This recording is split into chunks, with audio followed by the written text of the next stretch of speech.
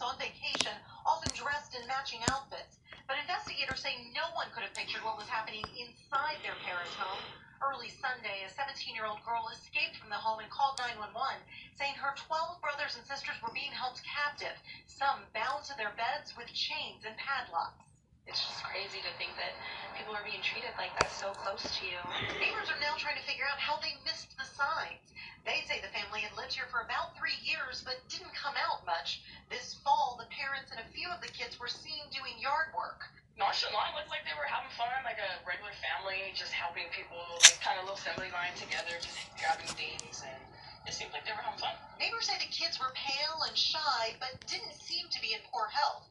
But investigators say all of the children were dirty and malnourished. At first, they didn't even realize the seven oldest were adults between the ages of 18 and 29. Jamila Adams, a neighbor who has experience with the foster care system, says she's never heard of a case like this before. Just to see it's right here, it was like it's heartbreaking, especially as a foster parent, because that's what we do. We take care of, you know, the kids who can't take care of themselves, and then to see somebody has their own kids like that, it's it's hard. According to the California Department of Education, the home was registered as a private school called Sandcastle Day School. 57-year-old David Turpin listed as the principal.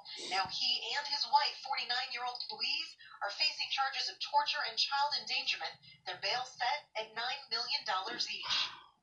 The Riverside County Sheriff's Department will be holding a press conference Tuesday morning. We're hoping we'll learn then exactly what was going on inside this home and how the children are doing now. I'm Tina Patel for CBS News, Perris,